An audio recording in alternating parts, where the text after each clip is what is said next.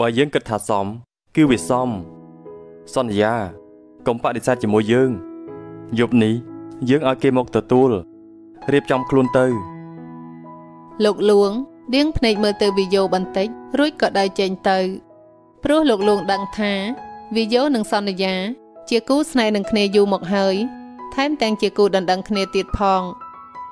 ប៉ុន្តែនារីដែលលោកពេញចិត្តគ្មានថ្ងៃនឹងដោះលែងឡើយ លោកត្រូវតែយកសន្យា មកធ្វើជាភរិយាទី3ឲ្យបានគ្រាន់តែពេលនេះលោកមិនទាន់ហ៊ានបញ្ចេញរឹកពីអ្វីខ្លាំងក្លាប៉ុណ្ណោះដោយសារតែលោកមិនចង់ឲ្យបាវបំរើនិយាយដើមវីយ៉ូប្រែទឹកមុខស្រពោនដោយចេញទៅឈរក្រោមដើមចំបៃសន្យាក្រោកដើរតាមក្រោយ ទាំងទឹកមកក្រៀមក្រំបងខឹងនឹងខ្ញុំមែនទេ